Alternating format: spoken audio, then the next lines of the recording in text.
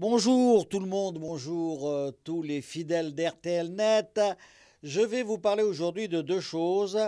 La première, c'est Luis Suarez et la deuxième, c'est le Milan. Alors pour Luis Suarez, j'ai appris comme tout le monde qu'il avait été contacté par Paris Saint-Germain.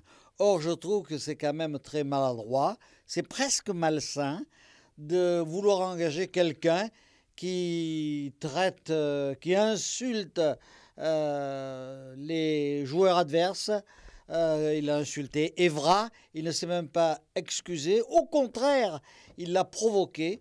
Et donc ce joueur uruguayen de Liverpool est un raciste infâme qui ne devrait pas mettre les pieds sur la ville de Paris. Voilà ce que je pense et ce que beaucoup de gens pensent et ce que doivent penser surtout certains de ses futurs éventuels coéquipiers de Paris Saint-Germain.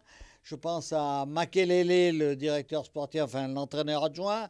Je pense à Matuidi et à d'autres qui sont donc euh, des ennemis potentiels de monsieur, ou plutôt Suarez doit les estimer comme des ennemis potentiels et les traiter, comme il l'a fait à propos de Evra, de négro. C'est scandaleux de vouloir engager ce type-là à Paris Saint-Germain. Il y a quand même une base de fierté à avoir.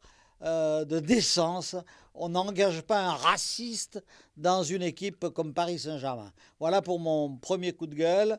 Et la deuxième chose dont je voudrais vous parler, alors là, c'est beaucoup plus calme, c'est le Milan.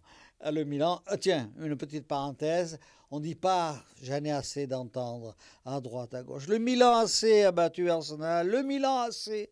Qui dit le Milan AC C'est le Milan AC. Personne en Italie dit Milan AC ou Milano AC.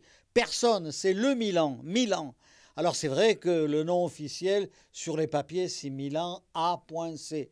Mais il n'y a qu'en France qu'on dit le Milan AC. Alors ça, ça me révolte toujours d'entendre Ah, le Milan AC a battu Arsenal. Bon, alors justement le Milan, comme on dit en Italie et partout ailleurs, le Milan, c'est redevenu la grande équipe comme celle du temps de Goulit ou de Van Basten. C'est une équipe avec devant deux types extraordinaires qui sont Slatan euh, Ibrahimovic et Robinho le Brésilien.